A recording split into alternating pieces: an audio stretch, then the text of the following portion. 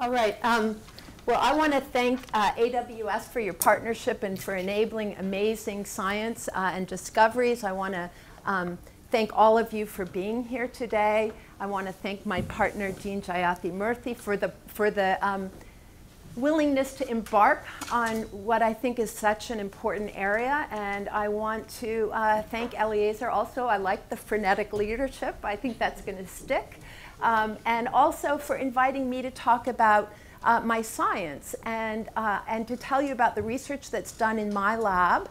And this is research that I realized as I thought about it uh, last night and this morning is um, uh, you know, research that's done from the perspective of a molecular neurobiologist, and I think it's appropriate to start the day this way because it's a, it's a field of, that, of, of science that I think will benefit enormously by the insights of others who approach it with a more computational um, perspective.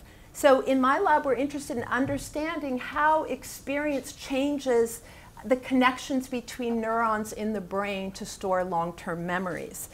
And this is a problem that's really sort of uh, critical to who we are as human beings. We're born with a wired brain. That brain then, the wiring of that brain changes with experience. And through that way, our experiences change how we perceive, how we think, how we feel, how we imagine, um, and how we behave. And it's a, it's a problem that's been of interest for many, many uh, centuries. And over a century ago, Ramon y Cajal, literally sitting at his kitchen table uh, with the microscope and using a staining method that was developed by um, uh, Golgi, Camillo Golgi, um, was able to look and understand that the brain is composed of distinct discrete cells, and these are nerve cells or neurons, that um, have these, uh, these sort of spots here, which are the sites where the neurons communicate with one another. And just by looking at this structure, um, he hypothesized that the cerebral cortex is like a garden full of innumerable trees, the pyramidal cells, a type of neuron, which in response to intelligent cultivation, the lectures you're going to hear after my lecture, um, can increase the number of their branches, strike their roots over a wider area, and produce ever more varied and more exquisite fruits and flowers and fruits. And so this idea really, again, just from looking at that data, the images that he was able to see looking at stained pigeon brains, came up with the idea that perhaps as we learn, there's an increase in the number of these branches or in the increase in the number of these flowers, the sites of contact between individual neurons. So um, this idea of experience-dependent synaptic plasticity or remodeling of connections between neurons uh, with all the modern techniques that are available to us is a really um, difficult and computationally complex problem to solve. If you look at the three pound human brain here, it has about 80, 86 billion nerve cells. They form about 100 trillion synapses, and so trying to understand how does experience change the connections between those becomes a rather difficult um, problem. And uh, what I've undertaken in my career is really what I consider to be a cell biologist view of how long-term memories are stored. And I take as a starting point the finding from many decades of studies in animals that long-term memory and long-term plasticity, these changes in connectivity, require new gene expression.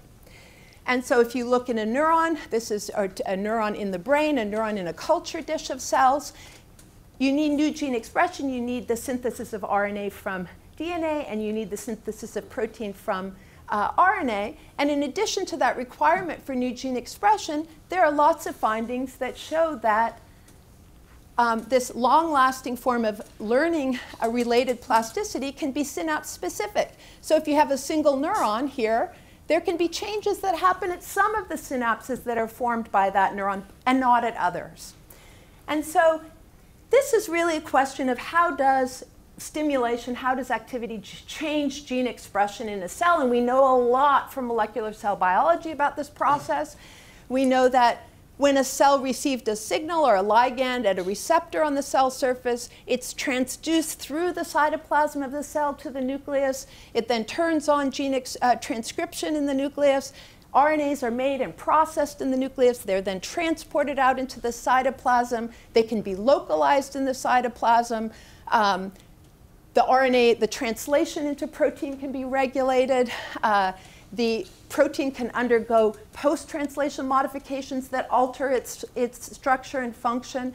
And then, of course, the stability of both the RNA and the protein can be regulated. So if you're saying, well, how is gene expression regulated during long-term memory? You have to think about all of those steps. Where is it regulated? And in my lab, we've really, th those questions are really challenging in a neuron because what we know about from a textbook sort of example, a cell like this, or a lymphocyte over here is a little bit simpler. You have kind of a ball with the nucleus, and you have to get a signal from the plasma membrane into the nucleus, send an RNA somewhere in that cytoplasm. But in a neuron, and here is a Purkinje neuron that's in the cerebellum, you can see that if the signal's received way out distally, um, and I'm not finding my, uh, my mouse here. But if a neuron, if a signal is received really distally in a distal synapse, it's got to travel a really long way back to this cell body where the nucleus is. And if you're going to have a change in structure and function that's going to happen, say, just at this group of synapses, then somehow whatever genes are being changed have to be spatially restricted in their um, function to a small space, uh, subset of that neuronal arbor. And so we've taken those two discrete questions as starting points for trying to understand at a very reductionist cell biological level how memories are stored. And so we ask how are signals transported from a synapse back to the nucleus to regulate transcription? And then how is gene expression spatially regulated at subsets of synapses so that it can alter the structure and function of specific synapses to um, produce long-lasting memories. And in my lab, we've used two model systems for asking these questions. One is an invertebrate system and one is a, uh, is a vertebrate system. The invertebrate system is a sea slug that's native to California uh, called Aplysia californica. It's shown here. And the advantages of working in, in Aplysia are that it has a relatively simple nervous system. So I said humans have about 86 billion neurons uh, has about 10,000 neurons. So you've, you've reduced the complexity. And then as a cell biologist, uh, what's really important is they're very large and identifiable. So if you open up, it doesn't have a centralized brain the way that mammalians do, but it has distributed ganglia.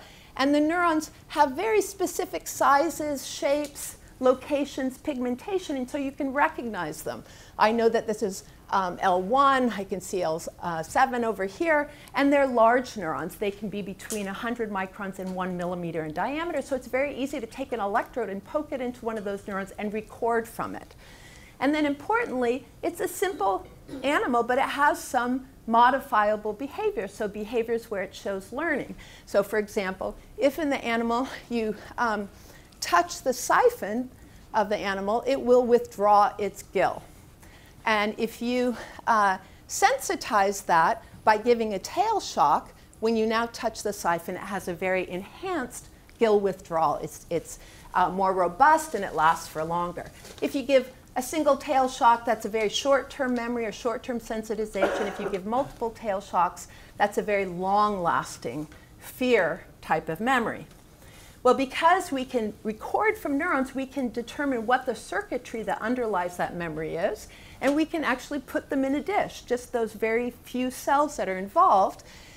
A sensory neuron from the siphon, a motor neuron to the gill that causes that gill withdrawal, and then this, the serotonergic neuron that is activated by the tail shock that then leads to an enhanced uh, communication between the sensory and the motor neuron. And so we can put them all together in a dish, or we can just put the sensory and the motor neuron in a dish. We can put electrodes in and record how strong their synaptic connection is, and then we can use a pipette to just apply serotonin to the dish. And you see immediately that when you apply serotonin, you get a strengthening of the, of the synaptic strength between the sensory and the motor neuron. correlates to the increase in the with gill withdrawal. If you give one application of serotonin, short term increase in strength, multiple applications, a very long lasting increase in strength. So here we have a system where we can say what changes in genes happen when you go from that short term to the long term. And we can further take those cells and, unlike mammalian neurons, we can actually chop off their cell bodies with a pipette, and we're left with all the, the neuronal processes. They still connect with one another. We can use an electrode to record from them, and we can monitor the strength of their connections. And so we can dissect out what's happening locally from what's happening in the cell body in the nucleus. And then further, in that culture dish, we can take a sensory neuron by itself and it doesn't make any synapses with any other partner. And we can add an appropriate postsynaptic partner and it will make a synapse. If you add a neuron it normally doesn't synapse with, it'll fasciculate along that neuron, but it won't make a chemical synapse. So we can use this very simple preparation to ask about how is gene expression regulated when you make a synapse and when you strengthen a synapse. And then the second um, system that we use is um, from the mouse. And the advantages of working in mouse is that there's incredible genetic tools. Um, and, uh, and they are, have a brain structure that's much more similar to a human brain structure. And we work in a region of the mouse brain called the hippocampus. And the hippocampus has been shown um, in animal experimental studies, but also in human clinical studies, to be a region of the brain that's critical for spatial and other forms of what's called explicit memory. And it's a beautiful system for an electrophysiologist because when you look at the structure of the hippocampus, it has these three um, uh, pathways where you can see in the green there's a, there's a neuron from the dentate gyrus that connects to neurons from CA3, and then and there's another earlier one from entorhinal cortex. And then in red, the pathway between CA3 and CA1 neurons called the Schaffer collateral pathway. And we can, because of that, the way it's organized spatially, we can put electrodes in and stimulate those CA3 neurons and record from the CA1 neurons. And if you stimulate it at a high um, frequency and strength, you can get uh, a strengthening of that connection. And that strengthening has been shown to uh, correlate with long-lasting forms of memory. So uh, this kind of strengthening is called long-term potentiation or LTP. And we can show that with some stimuli, weak stimuli, you get an increase in synaptic strength, but it doesn't last very long and it doesn't require any new genes. With, with strong stimuli, multiple strong stimuli, you get a very long lasting increase in synaptic strength, and that does require the new expression of new genes. So, as a, um, a neurobiologist, we can take the neurons from the hippocampus, we can plate them in a culture dish where we can have access to uh, you know, an individual or, or, or, circuits of neurons where you can see the nucleus here in, in um, blue uh, where the DNA is, but you can also um, see all of the synapses shown here in green so that you can really try to understand what's happening in different spatial locales of that individual neuron.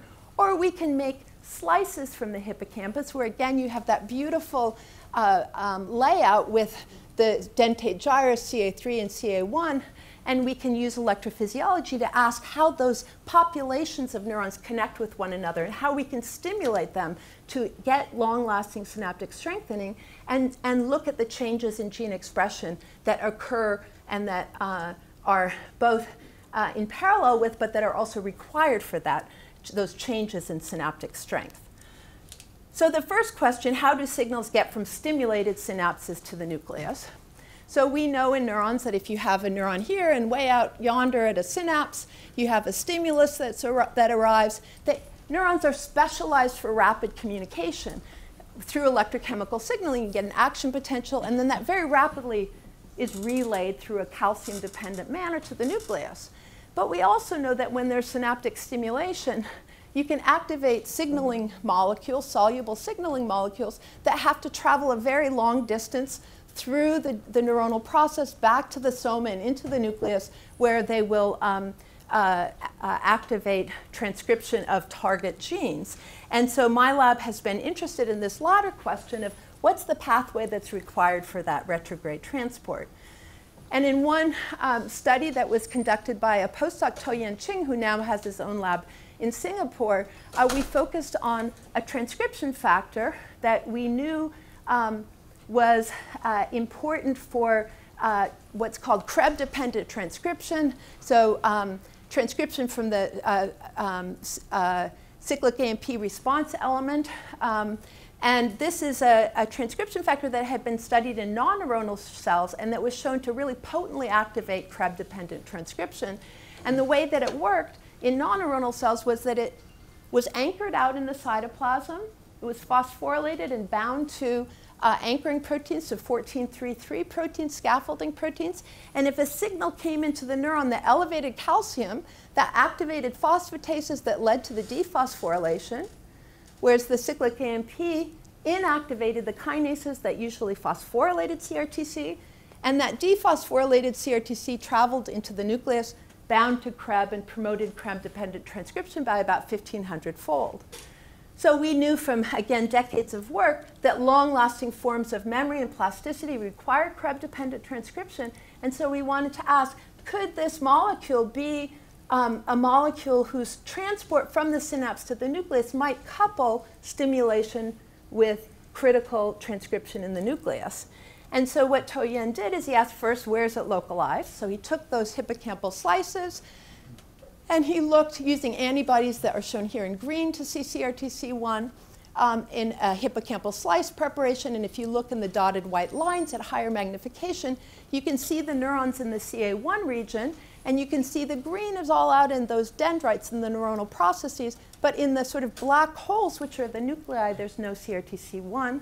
But if we stimulate to get long-lasting potentiation, it all travels into the nucleus where it can actually function as a transcriptional regulator. Or if we look in culture where we can get better resolution at a subcellular level, we could show in green that CRTC1 is localized at these synaptic, postsynaptic spines um, and in the dendrite in, in silent cells and then travels back to the nucleus. So we've been asking, how does that stimulation trigger the translocation? What's the impact on transcription? And how does that impact uh, learning and memory and plasticity? So I showed you those pictures. Those are all static pictures, before and after stimulation. So you get accumulation in the nucleus, but you don't really know that it traveled there. So we have to show that it actually travels there. And the way that we do that is we make constructs where we take CRTC1 and we fuse it to a photoconvertible fluorescent protein. Here at Dendra2. So Dendra2 is a fluorophore that normally fluoresces green. If you give a really brief UV light, it changes to red. And so we can express that using viruses in neurons, and so it's all green. But then if we use a UV light just in one location at a distal uh, set of synapses, it will, that will turn red. And then we can do another trick, which is that we can put glutamate, which is the neurotransmitter that's activating these synapses, and we can use a chemically caged form of glutamate that's in the media that's also uncaged or activated by that UV light. And so we give that brief UV light. We're both photoconverting and we're stimulating those synapses. And we can ask, can we visualize that um, transport back to the nucleus? And what we find is if we look in a neuron that only has green, no red because we haven't photoconverted, we go out about 200 microns from the cell soma. We photoconvert from green to red. We don't photoconvert all, there's still some green. And then we, and it's stimulating because we're activating, we're uncaging glutamate. And then we use a confocal to image through the cell body and in the nucleus. And you can see at the zero time point, you can see the, the, um, the nucleus. There's no CRTC. You can see it in the somatic cytoplasm. There's no red signal. But over a period here, 10 minutes, 20 minutes, you've now seen that CRTC photoactivated travel into the nucleus. So that shows us that it's indeed traveling all the way back. And we can use this kind of an assay to ask lots of questions about how does that happen. So just as an example, we can show in the red, you can see the time course of how that photoconverted uh, stimulated CRTC is, is arriving in the nucleus. We can show here if we block two types of, of glutamate receptors, AMPA and NMDA receptors, that blocks the translocation. And we've used other approaches to figure out what are the motor proteins that make it travel along the cytoskeleton, which type of cytoskeleton, uh, where does it need to get dephosphorylated, and questions like that, just using this simple assay. So another really interesting finding that we had looking at CRTC1 is that if we looked at it biochemically, we noticed that it really changed massively in its molecular weight when we stimulated it. So we looked at the primary sequence and we noticed that it was enriched for serines, threonines, and tyrosines. And thought, well, it, it, you know, like we knew that you needed dephosphorylation at two residues to get it to go. And we thought, well, maybe there's more uh, regulated, activity-dependent regulated phosphorylation or dephosphorylation. So we did two-dimensional gels where you look in, in this dimension at the molecular weight and in this dimension at the isoelectric point. And what we found is that in silence neurons, in green is shown CRTC1, you see that it's high molecular weight and towards the acidic or the phosphorylated isoelectric point. If we stimulate for 10 minutes, we see a really a drop in molecular weight and also a profound movement towards the basic or dephosphorylated um, isoelectric point. And if we take our sample and we just put phosphatases in it to just cleave off all the phosphate groups in the lysate, it drops way down. So that tells us that there's a really a lot of change, a lot of residues that are undergoing changes in phosphorylation. And so we then went on with a, a graduate student, Martina Sal, DeSalvo, um, to begin to map what some of those phosphorylation sites are. And we did this using mass spectrometry with the lab of James Wohlschlegel here at UCLA.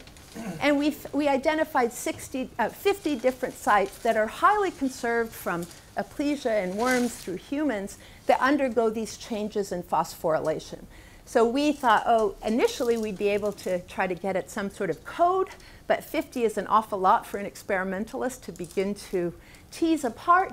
We've made mutations in the ones that are 100% conserved, shown here in the boxes, and we've shown that those are actually the sites where the where the actual stimulus-dependent nuclear translocation occurs, but we have many other sites that we're really interested in trying to understand. And we have a hypothesis that we're exploring that it might be that different types of synaptic signals might lead to different patterns of post-translational modification, and that might then lead to having CRTC1 couple with different um, either transcription factors or with CREB at different um, promoter elements. And that in that way you might get coupling between specific uh, synaptic signals with specific programs of gene expression. And consistent with the idea that that might be happening, uh, Jenny Achiro, a, a postdoc in my lab, has been um, doing electrophysiology in hippocampal slices, and what she's found is if she induces long-term potentiation using two different stimuli, or if she induces a different type of plasticity called long-term depression, which is an activity-dependent weakening of synaptic strength that also requires gene expression. In all those cases, she sees translocation of CRTC1 into the nucleus.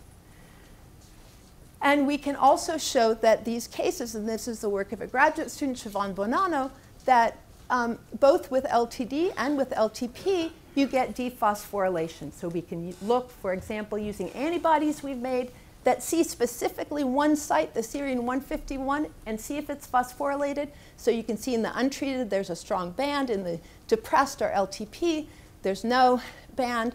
Or if you look at the total, you can see that drop in molecular weight consistent with it being dephosphorylated. So to try to understand more about how, what's happening, we've undertaken um, a very large uh, um, uh, uh, chromatin immunoprecipitation sequencing study or ChIP-seq stu um, study where we are um, looking to see, to identify all the elements that CRTC1 binds to in the genome in the CA1 region after induction of either LTP or LTD uh, in hippocampal slices to see what those differences are, and we're in the midst of analyzing all of that data. So to um, summarize uh, quickly here, what we've shown is that when we have stimulation at one synaptic site, you have CRTC1 sitting in a phosphorylated state at the synapse. It gets dephosphorylated, it travels back to the nucleus. We know a lot about the cell biology of how it travels back. It binds to specific um, uh, promoter elements, and that leads to expression of uh, activity-dependent transcripts.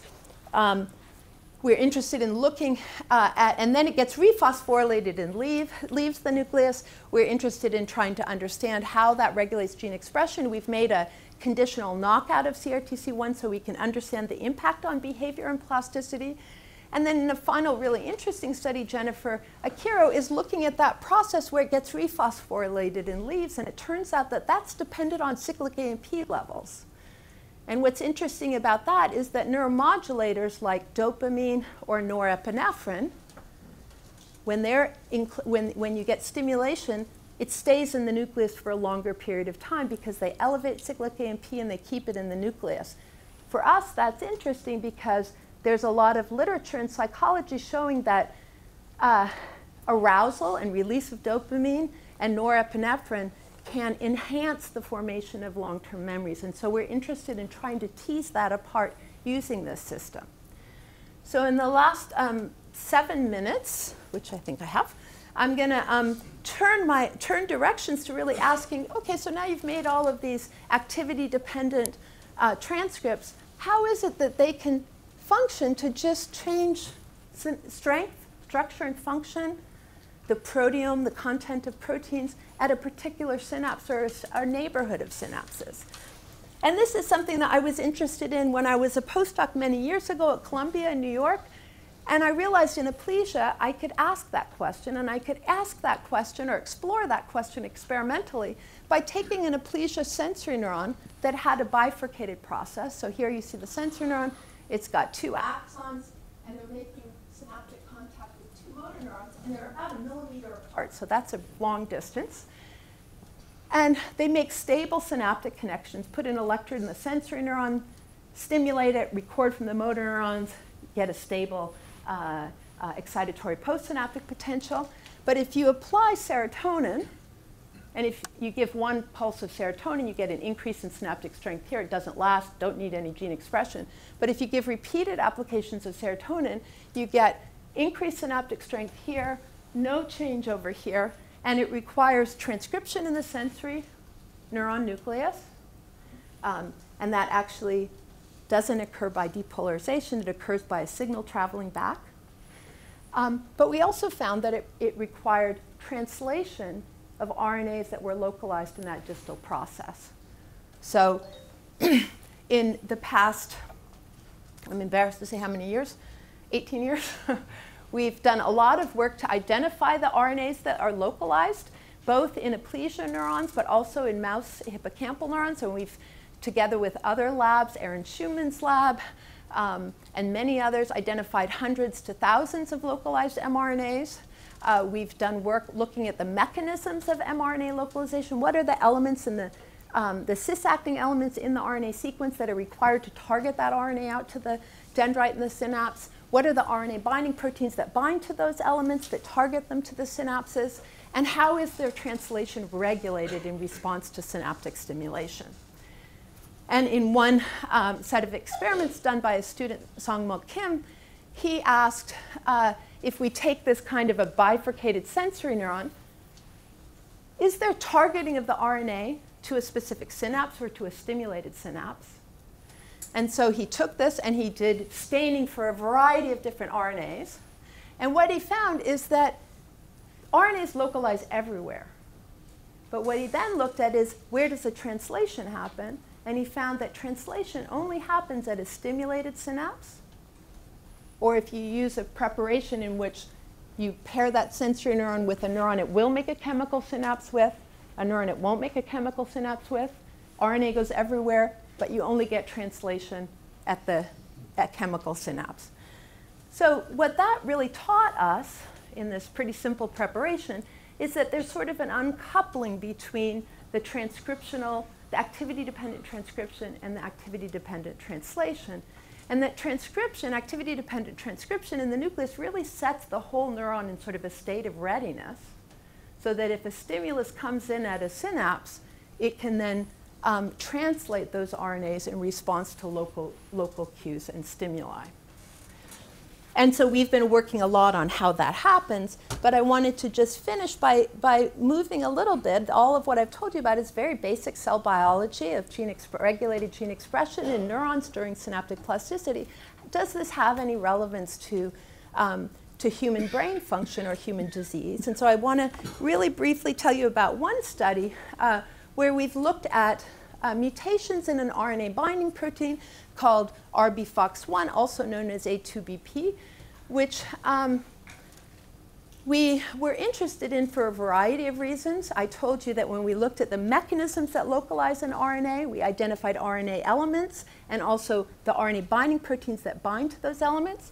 And there's been a lot of beautiful computational work um, done on RBFOX1 that identifies the, the sequence that RBFOX1 binds to in RNAs, and that, that allowed us to bioinformatically identify potential targets. And what we noticed is many of those targets had RBFOX binding sites in their 3' untranslated region. So they looked like they were potential targets for regulation in the cytoplasm. And we were interested because um, mutations in uh, RBFOX1 and actually mutations in many RNA binding proteins have been uh, identified in neurologic diseases. In the case of RBFOX1, they've been identified in patients with epilepsy and with autism spectrum disorders and with intellectual disability.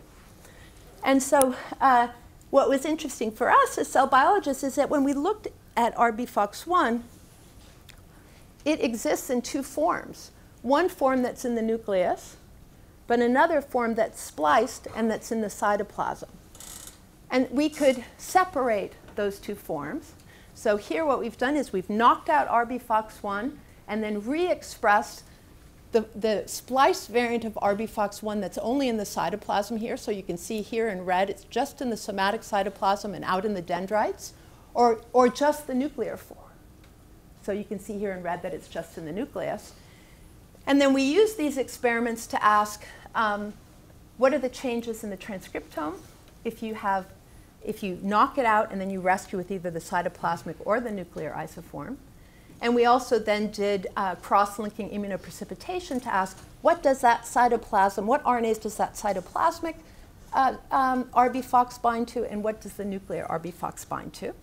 And I'm just going to skip to the skip the chase and tell you that what we found is that, not surprisingly, the nuclear RBFOX1 is involved in splicing. It binds to elements in intronic ele uh, regions of RNAs. Uh, the RBFOX1, cytoplasmic RBFOX1 binds to binding sites in the 3' UTR. We were able to show that one of the mechanisms by which what it does here is it actually promotes stability and translation of its target RNAs.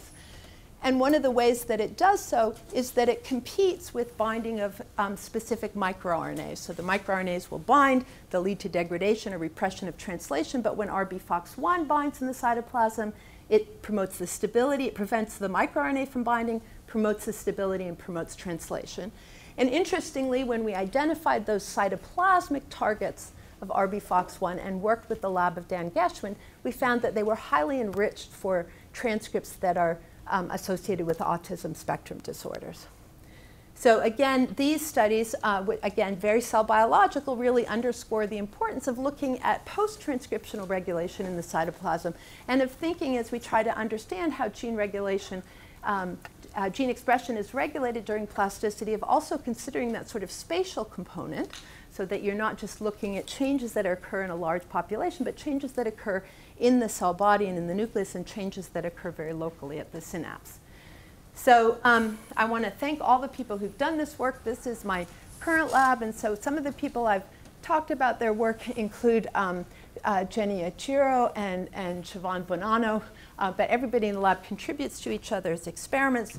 And I want to thank many of my colleagues. One of the really wonderful things about being at UCLA, and I think it's evident from the fact that the School of Medicine and the School of Engineering are partnering to create a department, is that it's an incredibly collaborative place. It's very easy to work with colleagues across the campus. So a lot of the work I've done today um, has been done with Tom O'Dell for some of the hippocampal physiology, James Wohlschlegel for the mass spec.